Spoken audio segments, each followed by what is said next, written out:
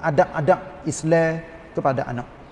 Suruh manusia bertakwa kepada Allah dan gerung takut ha hari akhirat.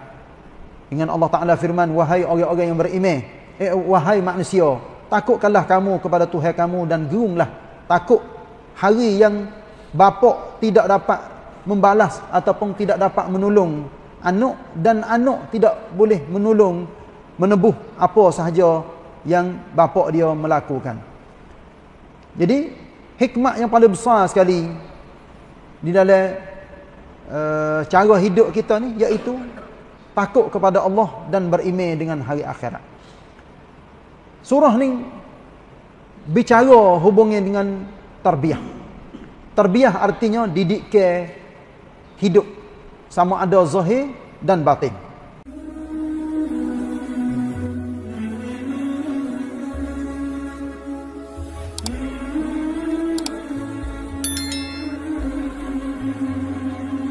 Bismillahirrahmanirrahim.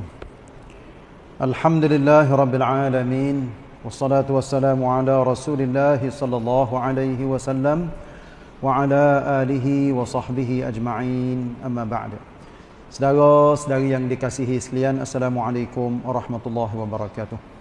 Alhamdulillah pagi hari ini kita masuk di dalam surah baru pula iaitu surah Luqman.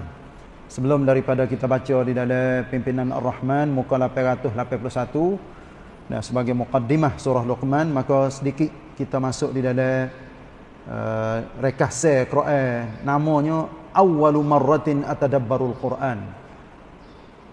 Pertama kali saya tadabbur Al-Quran. Ini nama kitab dia. Duduk di muka 143 iaitunya surah Luqman. Surah ni adalah diturunkan di Mekah. Uh, ayatnya ada 34 ayat. Kecuali dua ayat. Iaitunya ayat 27 dan 28 turunnya di Al-Madinah. Nama surah ni iaitunya nama Luqman.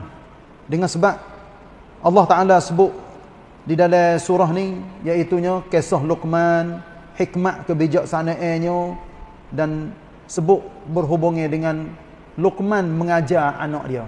Mengajar anak eh, itu adab-adab Islam kepada anak. Allah Subhanahu wa taala uh, mula surah ni dengan alif lam mim. Lepas tu ayat yang ke tiga sampai yang kelima tu hudan wa rahmatan lil muhsinin. Quran ni sebagai hidayah rahmat kepada orang-orang yang selalu buat baik Siapa tu orang yang buat baik? Iaitunya orang-orang yang selalunya solat, mengeluarkan zakat dan yakin dengan hari akhirat. Mereka itulah akan mendapat hidayah daripada Tuhan mereka dan mendapat kejayaan. Allah Taala akhiri surah ini dengan suruh manusia bertakwa kepada Allah dan gerung takut ha hari akhirat. Dengan Allah Taala firman, wahai orang-orang yang beriman, eh wahai manusia, takutkanlah kamu kepada Tuhan kamu dan gerunglah takut hari yang bapa tidak dapat membalas ataupun tidak dapat menolong anak dan anak tidak boleh menolong menebuh apa sahaja yang bapa dia melakukan. Jadi hikmah yang paling besar sekali di dalam uh, cara hidup kita ni iaitu takut kepada Allah dan beriman dengan hari akhirat. Surah ni bicara hubungnya dengan tarbiyah. Tarbiyah artinya didik ke hidup sama ada zahir dan batin. Dan beberapa perkara yang boleh ambil daripada uh, surah ni iaitu Quran ni sebagai satu hikmah yang sangat besar. Dan Allah Taala buat turun kepada Nabi sallallahu alaihi wasallam supaya umat seluruh sampai ke hari kiamat boleh guna apa yang menjadi perkara yang baik di dalam Quran. Yang kedua, wasiat Luqman kepada anaknya. Yang ketiga, dalil menunjukkan keasaan Allah Taala. Maknanya Allah hanya satu saja. Yang keempat iaitu bersedia untuk menuju ke hari akhirat. Faedah-faedah yang dapat daripada surah ni iaitu selain daripada uh, apa ni wasiat dengan secara umumnya kalau fokus ataupun pergi kepada rakyat yang pertamanya iaitu Luqman ajar kepada anaknya jangan syirik dengan Allah. Yang kedua, buat baik kepada dua ibu bapa. Yang ketiga, anak tak boleh taat kepada ibu bapa yang menyuruh maksiat kepada Allah Subhanahu Wa Taala. Dan seorang lagi, jaga adab. Ibu bapa mesti apa ni? Anak ni kena kena jaga adab sopan santun dengan dua ibu bapa. Lepas tu, we manusia semua ni rasa bahawa Allah Taala sentiasa duk perhati, duk tengok semua gerak-geri manusia. Beribadat, berdakwah di jalan Allah dan sabar di atas rintangan ataupun benar-benar hak dia nak pacen di dalam ha kerja Islam. Lepas tu, kena tawaduk, kena genah diri. Lepas tu baik akhlak sesama manusia. Yang kedua besar pula Allah Taala juga rayak di sini hubungi dengan hal lagu. Lagu yang dicampur dengan muzik adalah haram dalam hukum syarak yang Allah Subhanahu Wa Taala namakan perkataan lagu di dalam Quran dia iaitu lahwal hadith iaitu perkataan sebutan yang lara yang tidak ada faedah. Ha ni ada di dalam ayat yang kena. Dan perkara yang uh, perkara ni maknanya hal-hal lagu ni semua mazhab pak wayak katanya adalah haram belaka ni ada di dalam kitab al-majmu' nah uh, bagi Imam An-Nawawi dan al-Mughni bagi Ibnu Qudamah seorang manusia ni seorang hamba sepatutnya dia jauh ataupun lari diri dia daripada melakukan uh, dosa. Terutamanya dosa yang dia buat orang tak nampak. Maknanya kalau dia duduk sore tu. Inilah kadang-kadang menyebabkan orang tu dia akan rugi dan akan habis pahala-pahala dia hak dia duk buat mari selama ni tapi dia selalunya duk buat dosa besar sehingga di hari akhirat sikit lagi maka habislah mupuh dia tidak ada perkara-perkara yang uh, baik bagi hidup dia ni ada di dalam ayat yang ke-16 Seterusnya. Sepatutnya seorang hamba apabila dia ada peluang boleh buat baik, maka jangan dia lengah-lengah. Maknanya jangan lambat, jangan betak. Bahkan ada peluang bila boleh buat baik, maka buat baik lalu. Buat pahala lalu. Ini ha, Allah Taala firman di dalam ayat yang ke-34 sebagai ayat akhir, "Wa ma tadri nafsun bi ayyi ardin tamut." Seorang itu dia tak tahu katanya di manakah bumi tempat yang nak mati. Bermaknanya mati ni Allah Ta'ala tak tahu kepada siapa-siapa bahkan dia mari dengan secara serta-merta so lagi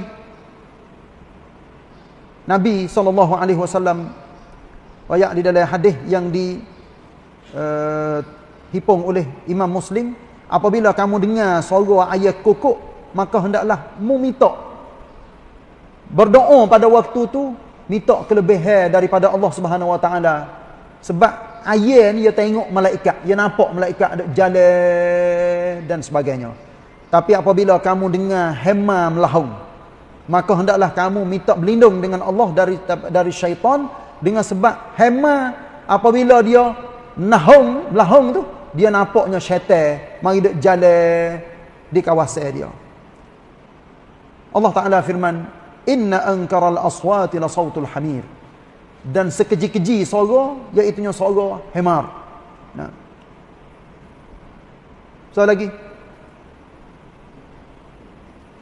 Allah Taala beri uh, peringatan juga. Wala yaghurrannakum billahil gharur.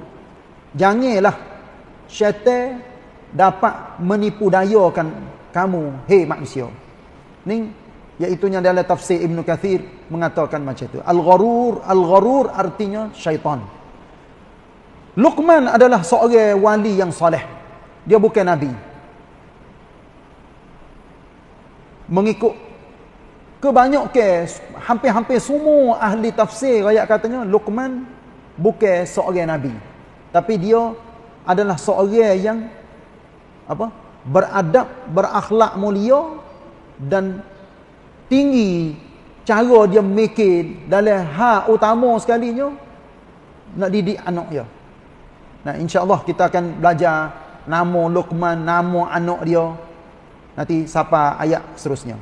Lepas tu akhir sekali iaitu dalam surah ni tak bila kita belajar tengok dengan secara umum bagaimanakah Luqman apabila ditanya dia boleh siapa martabat tu. Siapakah nama dia hidup dia Allah Taala bubuh di dalam Quran. Padahal dia orang biasa ya.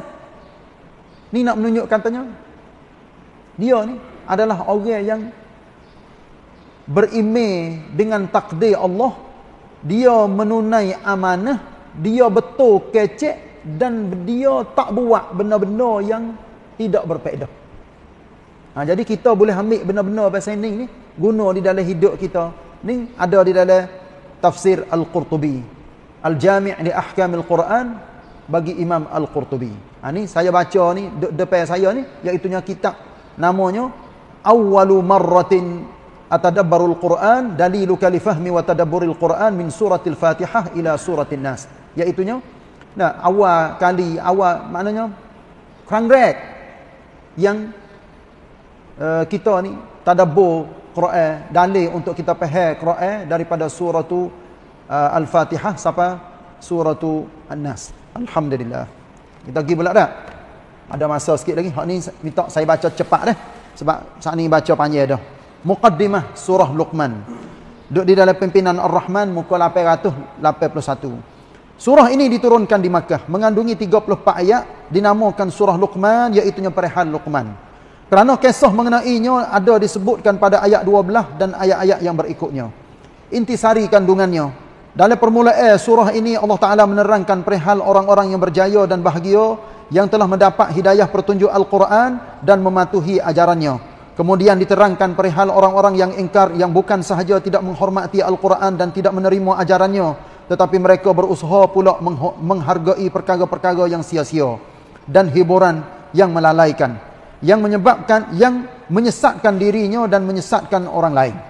Kemudian diterangkan perihal Luqman, seorang hamba Allah yang soleh yang telah dikurniakan oleh Allah Taala dengan ilmu pengetahuan dan hikmat kebijaksanaan. Luqman telah menasihati anaknya supaya menjauhi perbuatan syirik dan supaya ia mengerjakan amal-amal yang soleh serta berakhlak dengan akhlak yang mulia. Semasa menerangkan kisah Luqman dengan anaknya, Allah Ta'ala menegaskan tentang wajibnya manusia bersyukur akan segala nikmat yang telah dilimpahkan kepada mereka. Dan wajibnya mereka menjauhi perbuatan syirik. Kemudian diperintahkan supaya tiap-tiap seorang berbuat baik kepada kedua ibu bapaknya yang tidak akan dapat dibalas budinya, lebih-lebih lagi ibunya.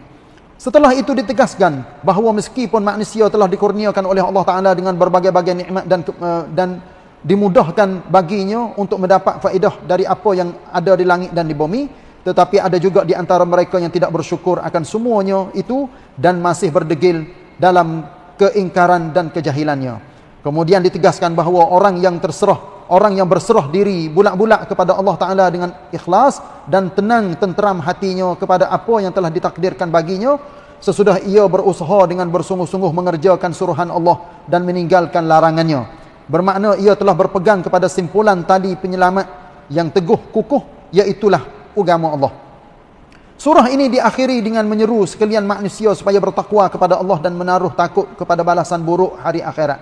Kerana pada hari itu seseorang ibu atau bapa tidak dapat melaksanakan tidak melepas tidak dapat melepaskan anaknya dari azab dosanya dan sebaliknya. Ditegaskan pula bahawa janji Allah itu adalah benar.